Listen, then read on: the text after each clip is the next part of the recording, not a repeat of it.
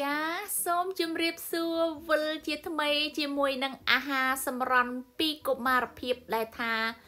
អូយចាគឺថាដើរតាមផ្លូវអីហ្នឹងគឺឃើញមានជាប់រហូតចា កាលនៅពីក្មេងគឺថា អាំងនៅតាមផ្លូវដីហុយទលំចា នៅផ្សារអីក៏មានដែរកាលពីក្មេងអូចូលចិត្តសម្បើមណាស់ចា គឺថាចេកអាំងលៀប ជាមួយនឹងទឹកអំបិលចា ហើយវិធីធ្វើគឺងាយស្រួលបំផុតចា ខ្ញុំជ្រើសរើសយកចេកដែលស្រគៀលចាដែលស្ទើរទុំហើយនឹងលើខ្ចីបន្តិចចា គឺថាពណ៌បែបនេះឯងបងប្អូនចារៀងលឿងតិចតិចណាចាបើសិនជាយើងយកទុំពេកទៅវាជូរហើយបើសិនជាខ្ចីខ្លាំងពេកទៅវាចត់ ប៉ុន្តែអានេះស្រេចលើបងប្អូនចូលចិត្តមួយណាអញ្ចឹងណាចូលចិត្តចត់ឬក៏ជូរអូខេឥឡូវនេះខ្ញុំជ្រើសរើសយកចេកដែលមានពណ៌រាងល្មមដែលខ្ញុំគិតថាដូចថាមកឆ្ងាញ់អីចឹងណាចាខ្ញុំយកមកវះឆ្វោកឆ្វោក4 5ឆ្វោកមកពី3ឆ្វោកឯង sorry ចាបងប្អូនវះ4 5ឆ្វោកអីក៏បានដែរស្រេចតែចិត្តចា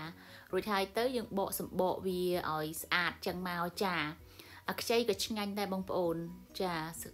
ពណ៌រៀងនៅខ្ចីតិចឲ្យតែយើងបកសម្បកបានខ្ញុំសាកឲ្យឆ្ងាញ់ប៉ុន្តែ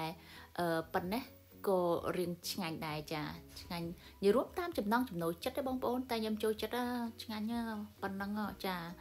ឥឡូវនេះបន្ទាប់ពីបកស្អាតហើយយើងមកលាយទឹកអំបិលចាលាយទឹកអំបិលហ្នឹងគឺ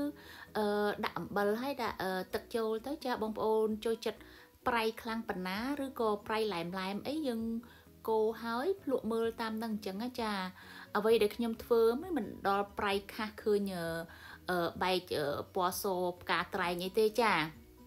ហើយចំពោះវិធីធ្វើវិញគឺខ្ញុំប្រើម៉ាស៊ីនអាំងនេះចា180ដឺក្រេហើយខ្ញុំអាំងចំនួន5នាទីសិនចាមូលហេតុដែលខ្ញុំអាំងតែ5នាទីសិនហើយខ្ញុំអឺ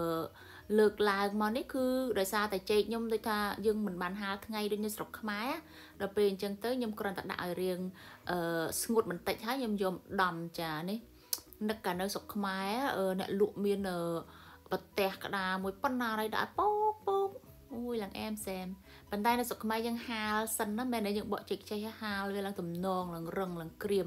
ឡើងអែមសែមចានេះ ខ្ញុំបន្តដំចេកដែលខ្ញុំ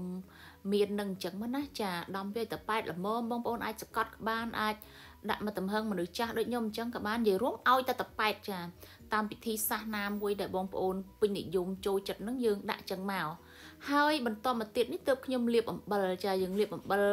ទឹកអំបិលទាំងសងខាងអញ្ចឹងណាចានិយាយរួមបើយើងអាំងខ្ជូងយើងមិនសាលាបទឹកអំបិលនឹងអញ្ចឹងណាដើម្បីឲ្យមានជាប់ប្រៃប្រៃហើយដល់ពេលយើងអាំងហើយមិនសស្ព្រុះចាអញ្ចឹងការលាបទឹកអំបិលហ្នឹងគឺសម្រាប់ទៅលើ